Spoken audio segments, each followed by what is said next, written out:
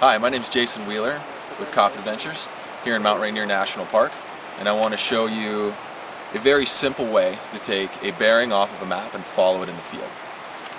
So, first thing you need to know is how to read a topographic map.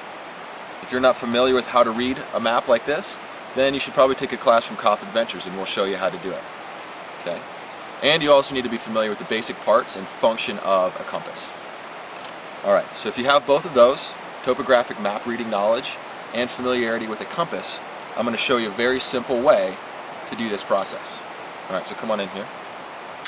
So here we have the Mount Rainier National Park seven and a half minute map.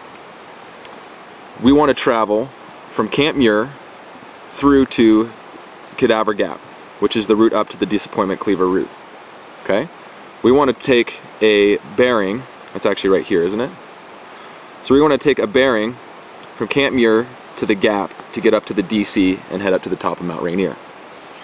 You take your compass, line up the edge of the base plate with Camp Muir and the route up to the DC, up onto the Ingram Glacier. And you have the direction of travel arrow pointing in the direction that you want to go. At this point, you turn the bezel until the reading lines here underneath the needle are lined up with the true north direction of the map. If you see here right by my middle finger, there's a small cross. That small cross right there is put on the map so that you can do exactly this. And you line up the lines so that they are running about as close as you can get to that. Reasonably close. Which it seems we have here. Okay? Parallel. Parallel with this line, or parallel with the edge of the map. Okay? So now we need to subtract our declination. Okay? This changes wherever you're at in the United States. Changes wherever you're at in the world. But if you're in the western United States, you're going to subtract your declination from this total number. So here, we need to subtract 18.5 degrees.